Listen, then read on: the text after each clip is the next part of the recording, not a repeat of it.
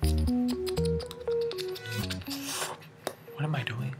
What's up you guys? I just wanted to remind y'all that next Saturday, October 19th, is the Houston Korean Festival at Discovery Green from 10 a.m. to 7 p.m. and I hope to see you guys there because I'll be there. and I'm so excited to go. Um, I don't have anything planned for next Saturday, so I'll be there the whole day. No, I'm just kidding. Um, it starts at 10. I'll probably be waking up at 10 and I'll probably get there around lunchtime, probably 12 to 1 because I know people are wondering when I'll be going so they can like adjust their schedules or something I don't even know. Um, but yeah um, I guess I could I guess I could stay like until 7 like I don't really have anything else to do that day. So you know, feel free to stop by if you don't have anything to do for the rest of your Saturday. Stop by um, Discovery Green and, you know, enjoy the Korean festival because it'll be really, really awesome. Admission is free.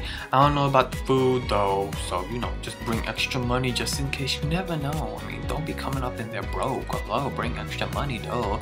Um, uh, Dumbfoundead is performing which is freaking awesome because I saw him at KCON. Um, I don't listen to him, but I know who he is, you know what I'm saying? Speaking of Dumbfoundead, he is featured in Kahi's new song, It's Me, and I freaking love that song. I have been killing that song. It's been on repeat since it came out. Freaking love Kahi, love the song, love the choreography even more. I've been watching her live performances for that song like a thousand times a day because it's just so amazing. And one of her dancers is like really, really cute. And I can't stop staring at him. I'm just like, oh, Kahi, girl, you are so lucky. Can I have him as a dancer? Like, can he teach me how to dance? You know what I'm saying?